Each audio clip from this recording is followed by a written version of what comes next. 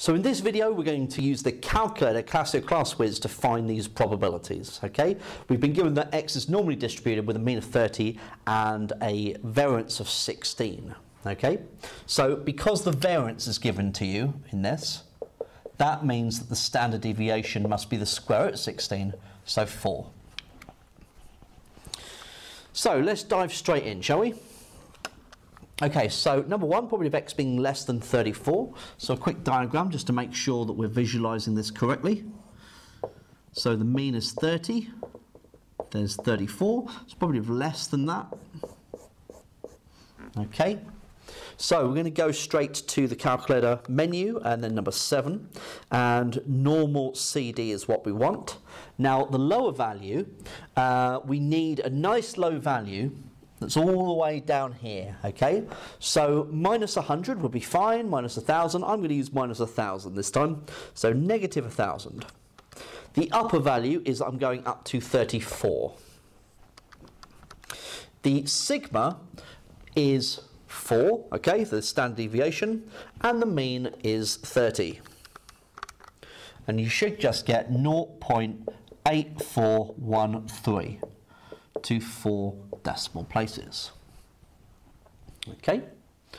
Right, greater than 32.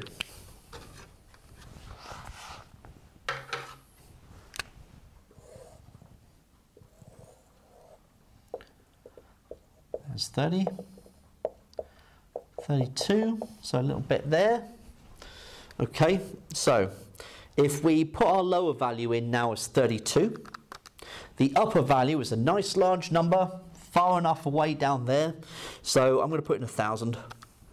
Everything else is the same. So we should get 0.3085 to four decimal places. Right, less than 29.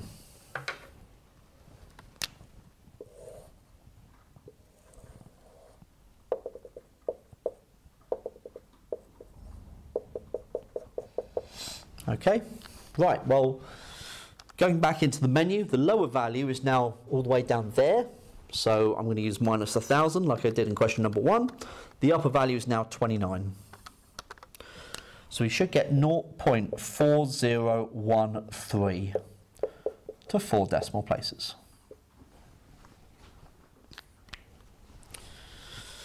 Okay.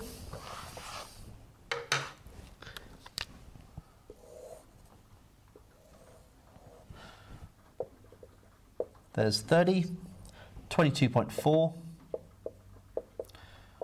So greater than that value. So our lower value will be 22.4. Our upper value will be a nice large number further away, further on down the line. So a thousand, say.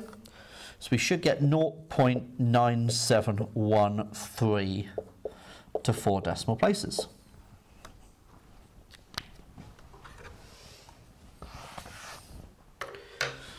Right, last one, number five.